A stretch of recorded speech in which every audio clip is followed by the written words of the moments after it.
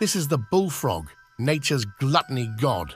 They'll chomp down anything that fits in their mega mouths, from creepy crawlies to snakes. Yep, even snakes. Don't mess with these hungry hippos of the pond. But how do they do it without claws or fangs? They lunge and swallow their prey whole, then melt it down with super strong digestive juices. Bones, fur, feathers, nothing escapes.